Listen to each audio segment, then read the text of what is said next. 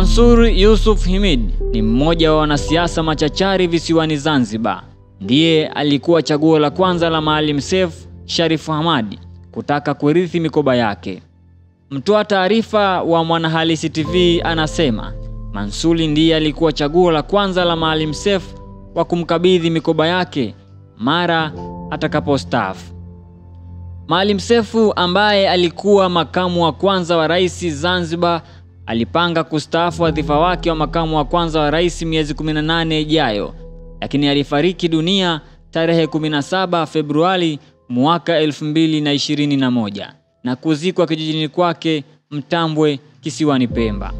Kwa mujibu wa mtoa taarifa huyo, Maalim Seif alitaka kumkabidhi Mansur mikoba yake yote kama angekuwa yuko hai na mwenye nguvu. Mansur ni mtoto wa Brigedia Jenerali Yusuf Himid ambaye alikuwa mkuu wa kwanza wa vikosi vya Serikali ya Mapinduzi Zanzibar SMZ mara baada ya mapinduzi ya tarehe 12 Januari mwaka 1964. Amepata kuwa katika serikali ya Dr. Aman Abeid Karume na Ali Mohamed Shein, akianzia wizara aliyekuwa wizara maalum na kisha kufanywa kuwa waziri wa ujenzi, nishati na ardhi. Aliondolewa kwenye baraza la mawaziri mwaka 2012 na Agosti mwaka huo huo akafukuzwa wanachama wa Chama cha Mapinduzi CCM baada ya kutofautiana juu ya muundo wa muungano. Mbali ya kushika nafasi ya waziri, Mansur amepata kuwa katibu wa fedha na uchumi wa CCM Zanzibar na mwakilishi wa jimbo la Kiembe Samaki Unguja. Mansur amekuwa mjumbe wa kamati ya maridhiano iliyokuwa ikiongozwa na mwanasiasa mkongwe Hassan Nasoro Moyo kabla ya wimbi maarufu la ulipo tupo kumburuza kumfikisha ACT Wazalendo. Mansur alikuwa mwanachama wa chama cha wananchi CUF. Amewahi kuwa mshauri mwandani wa Maalim Seif kabla ya kiongozi huyo kukutwa na umauti. Kwa mujibu wa mtu wa taarifa huyo ambaye ni kiongozi wa juu wa chama hicho, Maalim Seif alieleza bayana kuwa Mansur ndiye aliyestahili kushika mikoba yake. Othman aliapishwa kuwa makamu wa kwanza wa rais Jumanne iliyopita na rais wa Zanzibar Dr. Hussein Ali Mwinyi. Akimnukuu Maalim Seif, kiongozi huyo alisema, alituambia nikifariki mapema mchukueni Othman, yeye ataweza kuwaunganisha na kuendelea kubaki wamoja katika kipindi ambacho mimi sitakuwepo ulimwenguni na au kutokuwa na nguvu ya kusimamia maamuzi tofauti na hayo.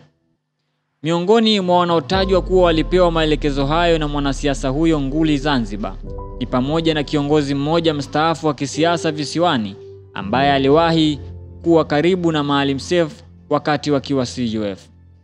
Mwingine aliyebahatika kupewa wasia na Maalim Seif ni mmoja wa wanasiasa vijana huko Zanzibar ambaye alipata kuwa karibu mno na kiongozi huyo tokea kuanzishwa kwa mfumo wa vyama vingi nchini.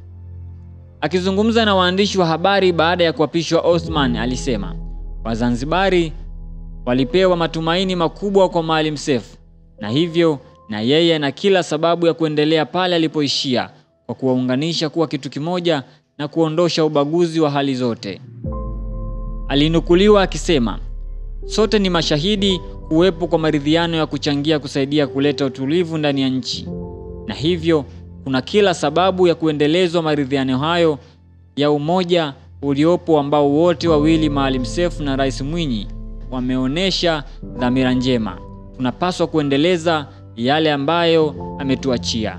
Hakuna nchi hata moja duniani yenye mfano kama wa kwetu ambayo imeendelea bila kuanza na umoja. Singapore iliendelea baada ya kujenga umoja na ndio wakafika hapo walipofika. Mimi ni muumini wa umoja, sikuanza leo, tokea nipo serikali na hata ilipotengeneza Vision 2020 mkakati wa kukuza uchumi na kupunguza umaskini Zanzibar, Mkuza. Katika mchango wangu, hata ukiwauliza wahusika watakwambia mimi ndio niliotoa mawazo hayo, na nilisema tunatengenezaje Vision 2020 bila kuingilia suala la utaifa. Nilisema hayo kwa sababu naelewa muhimu wake na msingi wake. Akihutubia wafuasi wa chama chake Vuga mjini Unguja, makamo huyo wa kwanza wa rais aliwashukuru wote waliofanikisha kumteua kushika nafasi hiyo, lakini akawasihi wafuasi wao kujitahidi kuendelea kuwa wamoja kama alivyowaachia Maalim Seif. Katika baadhi ya habari tulizoandika, tuliandika kuwa Othmani ndiye aliyepewa nafasi kubwa ya kuteuliwa kushika wadhifa huo kufuatia kubahatika kupenyezewa taarifa na mmoja wa viongozi wa juu wa chama hicho kuwa ndiyo maelekezo ya Maalim Seif. Wachambuzi wa masuala ya siasa wanasema uteuzi wa Othman Masudi kushika nafasi ya makamu wa kwanza wa rais visiwani utaweza kusaidia Zanzibar hasa katika masuala nyeti yanayohusu haki visiwani humo kwenye muungano. Msimamo wa Othman unafahamika katika masuala ya muungano na kwamba wakati wa bunge maalum la katiba alipiga kura ya hapana katika ibara ya 73 ya katiba pendekezwa iliyoeleza kuwa Jamhuri ya Muungano wa Tanzania itakuwa na muundo wa serikali mbili. Aidha, guji hilo la sheria lilipinga ibara ya 74 inayoeleza kuwa shughuli zote za mamlaka ya nchi katika Jamhuri ya Muungano zitatekelezwa na kudhibitiwa na vyombo viwili vyenye mamlaka ya utendaji vyenye mamlaka ya kutunga na kusimamia utekelezaji wa shughuli za umma. Vyombo vyenye mamlaka ya utendaji vilivyotajwa katika katiba pendekezwa ni Serikali ya Jamhuri ya Muungano na Serikali ya Mapinduzi Zanzibar.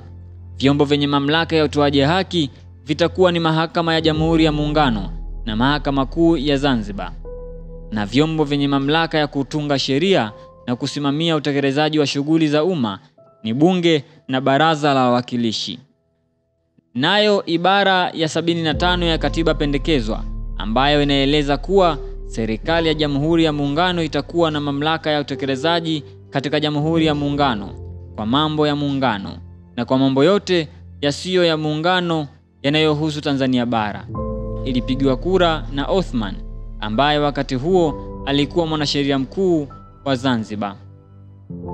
Akizungumza katika hafla ya kumpokea makamu huyo wa kwanza wa rais, kiongozi mkuu wa ACT Wazalendo Zito Zubeir Kabwe alishukuru kamati ya uongozi kwa kumpitisha Othman kwa sauti moja, lakini akasisitiza kuendelezwa kwa maoni ya Maalim Seif ya kuleta umoja na mshikamano ndani ya chama, kwani umoja na maridhiano ndio ulikuwa msingi mkuu wa kiongozi huyo. Zito alinukuliwa akisema nafasi ya makamu wa kwanza urais ni ya ushauri kwa kazi za serikali ya Zanzibar.